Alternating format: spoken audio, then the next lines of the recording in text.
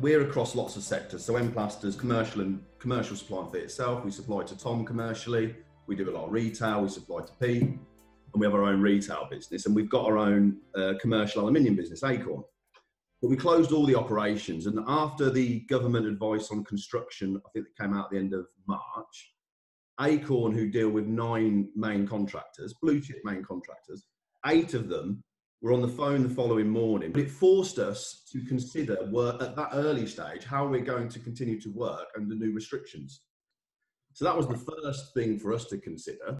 Um, our Australian business never closed. Government was giving health guidance on how to, you know, social distance, but also saying you must carry on work. No support came out from the government at that stage. So quickly we had to adapt them over there in terms of how are we're going to sell and how we're going to install safely.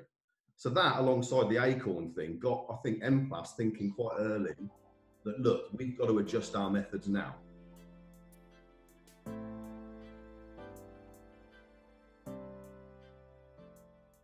We've quickly um, gone, uh, you know, assessed our factory. We had deep cleans that we've put in. I mean, I was at work on Monday and Wednesday as we start restarted fabrication on Monday. We've put in line markings. We've got more posters than you could ever see before. We've got hand sanitizer, hand sanitizer stations all numbered and recorded. We must have about 20 across the offices and shed loads all over the shop floor. We've adjusted the canteen. We've adjusted shift timings. Um, everything that you can think of. We've got new safe systems of work. I think the advantage Emplas has, not completely against the marketplace, but the advantage we certainly have at the minute is we've got Australia still selling and still in store. And I can, for example, we're making 250 Australia windows this week that I can do with 11 blokes on the shop floor that don't come within six meters of each other.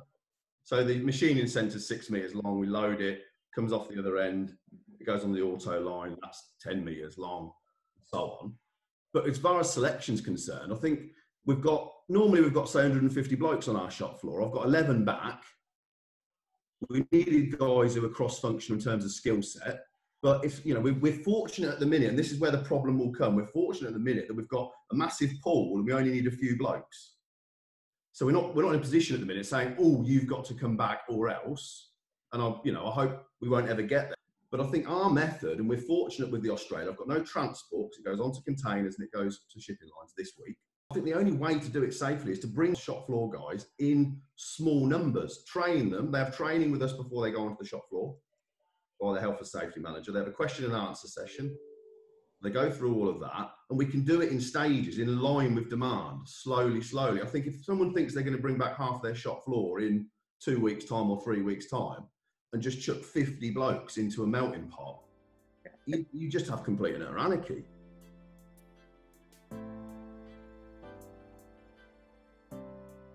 Yeah, I mean, for us, um, it's it's about you know um, we're waiting to see what the government's um, you know if they will lift any of the current restrictions in the next couple of weeks. When we've started to target uh, the last couple of weeks, we've started looking at all risk assessments, we bought um, a lot of PPE because you know we recognise that you know this is going to be with us now for uh, um, uh, you know the, to the rest of the, the end of the year. Um, so it's going to be a considerable time. We've got to find a way of working now um, under new guidelines. We've just got to. We've got to protect our, our workforce. So the biggest challenge for us is going to be um, the the public are going to want some some um, reassurance from us as a business. You know, we're going to be coming back into their homes and we've got to show them that we've got procedures in place to, to do it as safely as possible.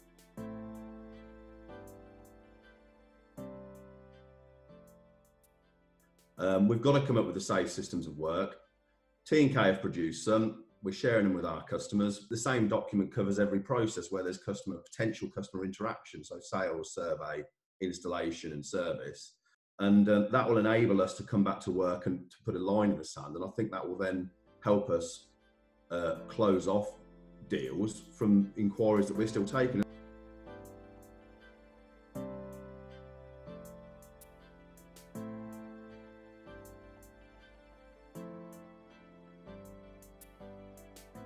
Obviously, our retail business, although it's smaller than our commercial business, is still vitally important. Now, the lead flow from Facebook is daily. We are um, getting significant inquiries from um, Facebook. But I think what's really crucial to how do we generate leads as an industry and how do all these things connect? What's happening in our industry with IBGs and um, insurance in general, and how on earth can we stimulate a market and sell to people if we can't get any deposit insurance? Because customers are in that position of thinking, well, hang on a second, lots of these businesses may go bust. I don't want to spend any money with them unless I can protect that money. Um, so I've, I've taken the decision, again, we're lucky, we're, we're financially robust to do this, that all of our Facebook adverts at the moment carry a no deposit um, tagline to say buy with confidence, you know, no deposit until the lockdown's finished. Now, it's great in principle, it's generating inquiries, but that's obviously from our point of view a huge risk if it goes on for a long time. And I think all of those things are connected. There is definitely pent up demand. Um, obviously, some of that's tire kicking. They're not all looking to buy right away, but we are getting sales. There is, there is, we are, we've got good equipment to do remote selling. Um, we're using that, um, and we are getting orders.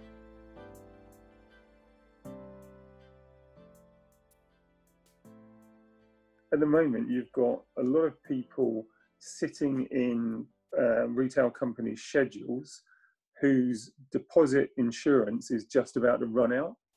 So most IBGs last for a set period of days. I've got customers writing to me currently saying, my insurance runs out on the 23rd of May. what happens afterwards? Now, originally, the discussions that we had with the DG Suez were that you would be able to pay a small premium to extend it.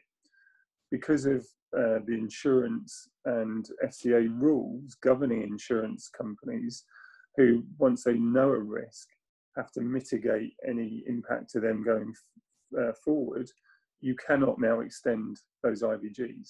So effectively, you've got thousands of retail customers potentially with unprotected deposits. So how we get back to work and how we protect those people um, and what happens to all that money is key to the next question you want to ask. How do we protect the industry going forward? And that's going to be really difficult when we don't even know how to start this process. How do we protect the money we've already taken?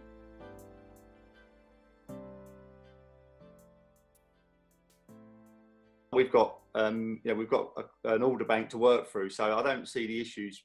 You know, it's more like, you know, if, if we, we pause the business overnight, so um, there's you know, there's stock in our in our depots. You know, so as soon as we come back, we've got everything scheduled in our, our diaries, you know, in the same order that the, the customers we postpone them. So dropping all of our diaries back in, you know, we've got we've got two weeks of work to get through. It's all sitting in the depot still at the moment. Uh, it's um, you know once we get through that, you know the and we've got an order bank as well. Uh, longer term, you know, I do think there'll be some. You know, the people are not going to be going on holidays this year you know, there's there's not going to be any holidays to be had. So, you know, I'm hopeful that I mean we've we've seen a strong lead intake still through, um, much like yourselves. We've seen you know uh, through the web. We've still seen reg- a lot of people. You know, some of that will be tire kickers, but there's still a lot of interest out there at the moment. So, you know, I know our sales team are really keen to get back out there and. You know, look, we, we, things are going to change, but you know, I'm hopeful that um, you know we'll still be, we'll still see some a lot of um, a lot of interest out there.